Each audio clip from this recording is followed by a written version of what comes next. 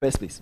But Uncle Ken, you, I, I can appreciate where you are coming from hmm. when you talk about the fact that some of them perceive us to be um, doing or meddling m- most in the con- con- controversial stories, Yeah. the sex leading stories and Yeah. all. Hmm. But Uncle Ken, Well, just a reflection. this thing that we are doing, we are hmm. doing it for the general public. Okay. As an art writer, Mm-hmm. George as a presenter, as a mm-hmm. stakeholder, mm-hmm. what we are doing, what we've been doing over the period, is for the uh, general public, for the masses. Uncle Ken, the fact is simple. Big sex related stories, these controversial stories, Mm-hmm. that is what the masses love. I know. And especially in this dispensation where it's become a numbers game. Mm-hmm. That's what they that's what they subscribe to. Mm-hmm. And so let no politician sit somewhere and say, oh, because they are doing controversial stories, because they are doing sex related stories, they are not serious minded people. Mm-hmm.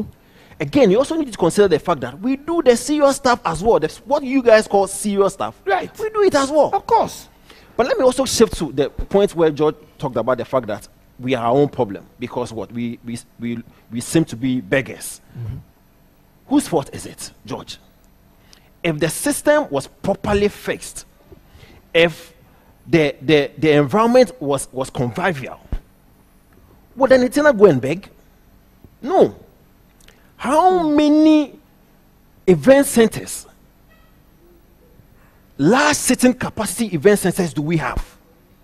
Our copyright laws, how many are effective? Piracy, one of the biggest challenges in, in, in, in music. And these are all things How we need the has it been states- we need sorted the power of out in our states to help industry? fix. Mm. So, if our system is in a ramshackle state, how do you expect the entertainer to be in a position not to come and beg? Mm. Go out there and figure out. The likes of Oprah, George Clooney, they are in a position to actually, they don't even, they don't just mount the pla- political platform, they are in a position to actually raise funds for the politicians. Correct. Yeah, they do. Because the politician has ensured that their system is in that correct shape. So they don't need to go and beg. Mm. Here in our setting, mm-hmm. what is the system? And, and then, George, we need to consider.